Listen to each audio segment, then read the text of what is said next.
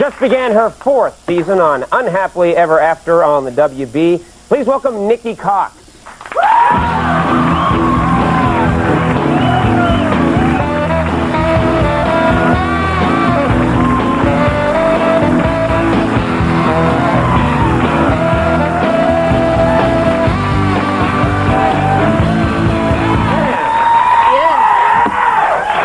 How you doing? I'm doing good. How are Yeah, you? I'm, I'm doing great. Good. Everyone's happy you're here. Oh, I'm, I'm happy too. yeah, very nice to have you on the program. How you doing? I'm doing good. I'm, you know, my breathing is slightly restricted in this little getup, but I'm doing good. Other than that, I expect that would you might pass out at any time. yes, it's possible. I So- might pass so out at catch any me. time. Oh. Well, that's the desired effect. I wanted to sport cleavage that rivaled Fabio's. So. Did you see the episode when he was here? Yes, I did. It was frightening. He had more boob than most women I've seen. I he just had I giant felt breasts. So inadequate. yeah. I felt like a He- lesser he, woman. has man boobs and and, and I- powerful I, man I boobs. felt like a lesser woman. I really did. It, was, it was sad. I kind of went, aw. You're doing fine. Um, Thank you. let's uh, let's start with your your name. It's it's like a real like kind of a heavy metal rocker name, That's Nikki Cox. Yeah, yeah. Um, well, my real name's it- Nicole. Oh, the, oh, okay. Yeah, but that's just way too formal. On my live, somebody calls me Nicole. I say, what did I do? Uh-huh. So, uh, So who changed it? You, you decided to change it to Nikki? well, my parents just did just because they got tired of saying nothing. You didn't do anything. So Mm-hmm. That's the last name. Uh, it's, it's, it's, it's Cox. Mm-hmm. Don't say a word, please. I've been hearing about it all my life. Uh, yeah, yeah. I've been I've been hearing about it all my life. But you know, the good thing is, if this uh, if this acting gig doesn't work out, uh, add three X's to the end, and uh, I could strip. So I guess that's all that. You, You- know, I- you have a always that. safety net. At least I got that. Uh-huh. Total of four. wow. Yeah. Hot, Which- hot, hot. yeah, that would work out just fine. Uh, let me talk about because I, I, I um, when at times that I've seen your show, the audience uh, makes a lot of noise on your program, They're a funky crew. especially when when you make your entrance. There's uh, six minutes of when you enter. Usually, you know, wearing something akin to this, Yeah. uh, or smaller. if not smaller, if Yeah. that's you know possible. Possible. But you walk out there, and the audience is just—they're very vocal. I know it's kind of creepy, huh? What kind of? Well, no, I don't know. It it, it makes it sound lively anyway. But Yeah. what kind of people you getting in the audience? Uh, Marines, mostly, mostly Marines. Are, uh-huh. there, there are some of our biggest Right. fans. They really yeah, like us. and prisoners Uh, on furlough. Yes, they're love there. us too. Our incarcerated friends are always, they're always good. Uh, sometimes we get audiences quite by accident. On uh, one occasion, a, a single guy bus got rerouted to our show.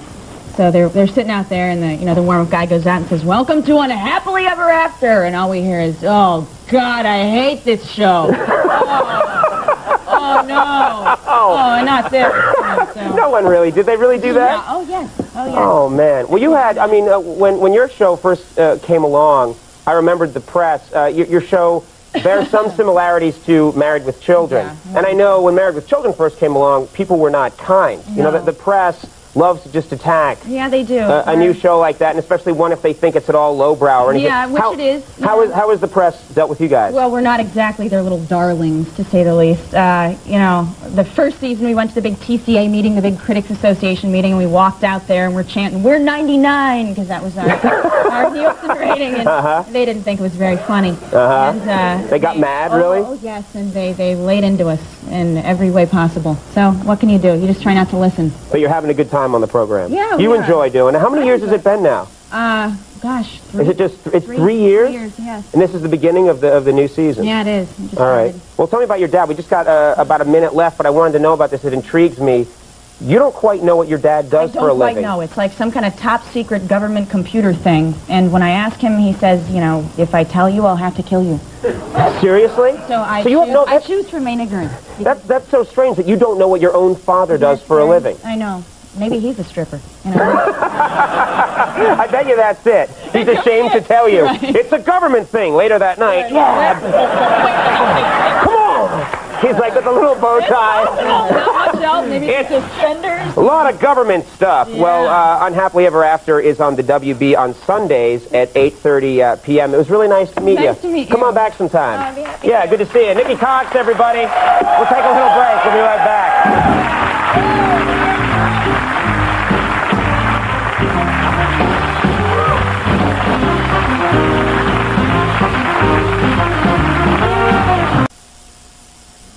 Okay, everybody, that's our program for the night. We want to thank all our guests. Stay tuned for later. We'll see you tomorrow.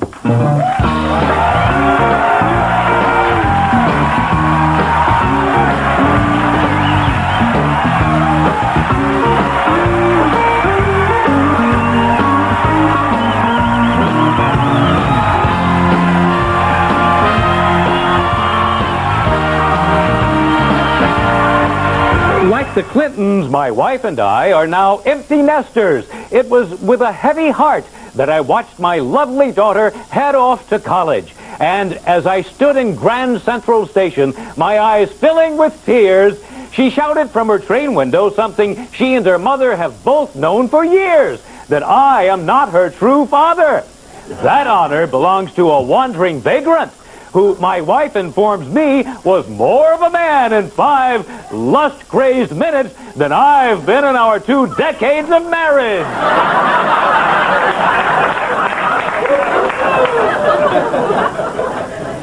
Joel, uh, Joel, that must have been devastating. My daughter's words were like jackals tearing at the carcass of my heart. And as her train pulled slowly away, I collapsed in a quivering heap only to feel my wife rifle quickly through my pockets for liquor money.